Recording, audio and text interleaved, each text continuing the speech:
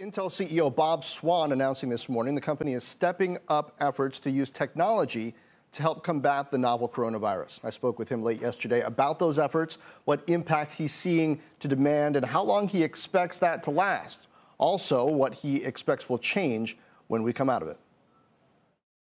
We announced today um, a $50 million pledge, in essence, to deal with um, deploying the technologies to com- uh, accelerating the deployment of technologies to combat the coronavirus.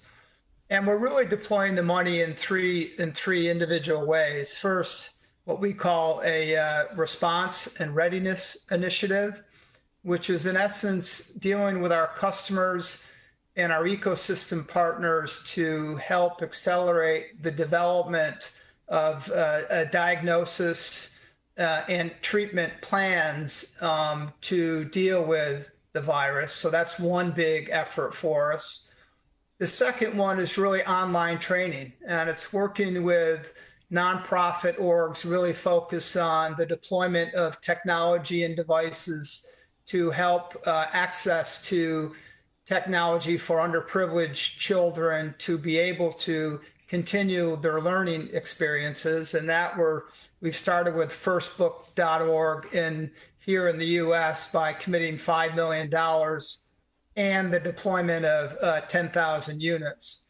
And then the third area is what we call an innovation fund. And this, Jon, is meant to um, uh, tap into the ideas of our ecosystem partners and our employees who are very uh, committed to try to help out in this uh, very dynamic environment. So, $50 million commitment across these three different initiatives, really all geared towards the role that we play in, in, in technology today, and that is to accelerate the deployment of technology to enrich the lives of every person on earth at a time where we have a real issue that we have to contend with. Yep, Bob, uh, that, that sounds great. I, I wonder, to the extent that you can, a, a macro question. With economies being effectively shut down for this period of time, there are lots of questions about how long it's going to take to get back to normal, whatever the new normal happens to be. Do you yet have a sense of the, the viability of your customers during this period and coming out of it, and, and how long it might take for them to, to be ordering from you for demand to, to return to, to levels where it was before?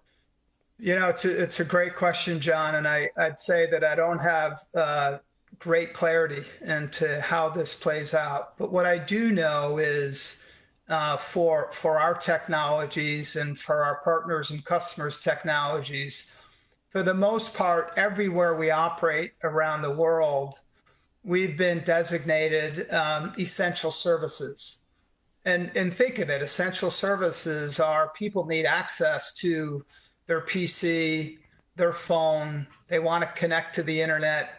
The technology that's deployed through hospitals through industrial uh, facilities through diagnostic imaging equipment all these things are in essence compute devices. And those compute devices need essential services like the technology that Intel and Intel's partners um, developed today. So our focus and energies in the last several months, and we expect uh, going forward, is how do we ensure that those essential services get into the hands of those that need them most importantly to help keep um, employees safe, but the economy continue to operate for critical services and that's a lot of what today's uh, announcement is about is stepping up our commitment to help affect um, getting intel technologies out to those that need it most. Bob does this change the nature of the, the consumer's relationship? And by the consumer i mean not just people at home but people at work as well. The relationship with the pc itself. I know that for me personally yeah i, lo- I, I use a lot of mobile devices but uh, a good old high powered laptop, desktop computer has, has become an essential tool during this time in a way that uh, I might not have realized that it was day to day before. Do you think that the demand going forward to at least have a modern PC uh, in reserve is going to be different?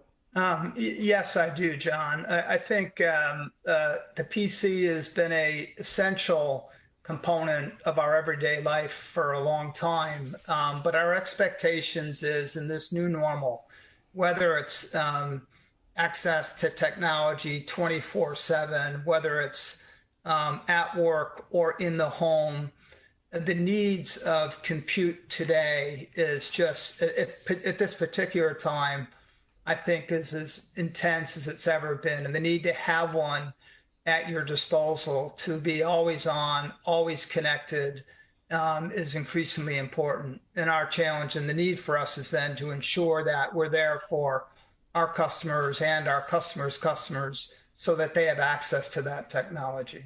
You are active in M&A. You have billions of dollars that you invest uh, as Intel. Does this change the way you invest in the technologies that you see as being key for the future? You know, I think right now, the, the last you've heard us talk quite a bit about the market that we see today, a market that is much bigger for Intel than it's ever been. The, um, in a world where we characterize everything increasingly looks like a computer.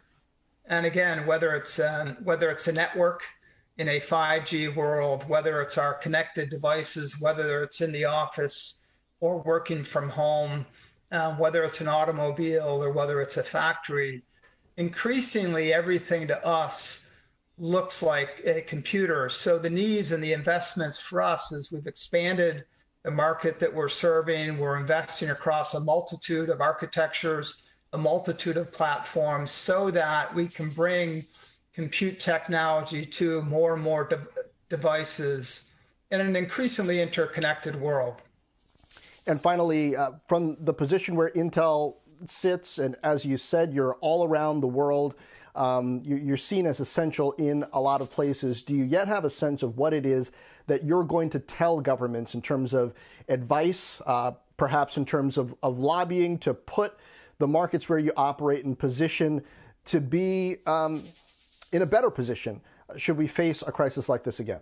Yeah, I mean, as, as you might imagine, with a global footprint, not just in terms of where we sell our technology and deploy our technology, but where we make it and design it, we're a very global company. And therefore, to deliver our essential services uh, today, it requires us to very proactively be dealing with all the governments um, uh, where we where we have a role today, so that everyone appreciates the importance of uh, the essential technologies we provide, the commitment that we have to our employees to ensure that we're deploying the best practices so that uh, we can keep them safe while also delivering for our customers. So it's the engagement with the governments, uh, local, state, uh, national governments around the world has been absolute imperative to and keep our essential technologies uh, available for our customers and for their customers.